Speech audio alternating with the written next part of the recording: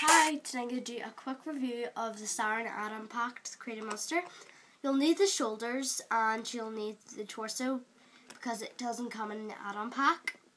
Well, I've took it out of the box and put it together and everything just clips together. Here's the doll.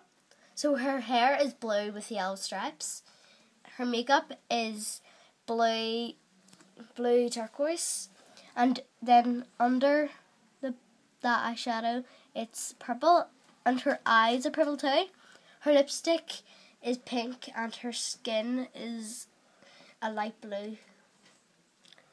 Then she her top is a really nice kind of pattern, and she's there's her belt. It's got seashells and all.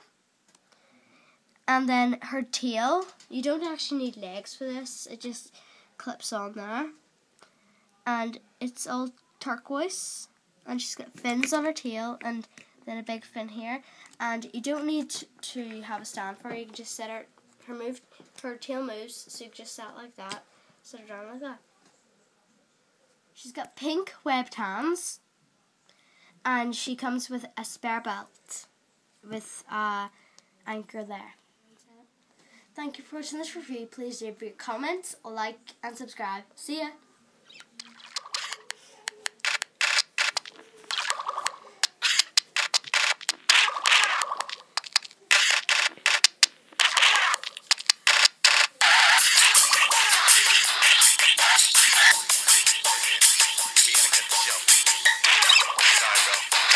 We can't we can't do it no more. Can't do